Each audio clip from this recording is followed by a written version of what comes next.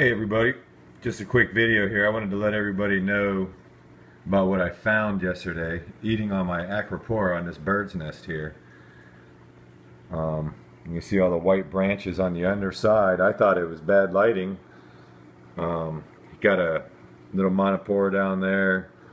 This acropora has a stripped branch and this one over here is definitely stripped.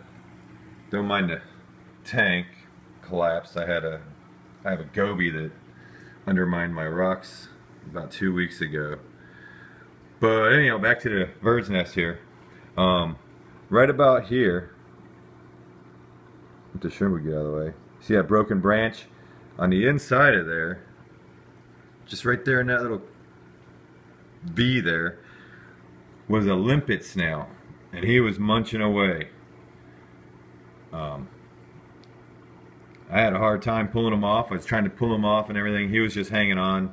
And right where I pulled him off from is just completely clean. So I believe that's what was doing that. So I took him out and I put him in here.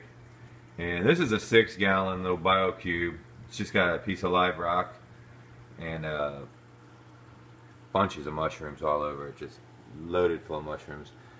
A couple snails. Uh, and a mantis shrimp. That's home to my little bitty mantis shrimp there.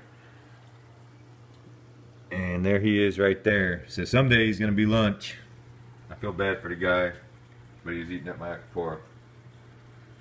Anyhow, if you're seeing issues with your acropora or just looking stripped, uh, look for limpet snails.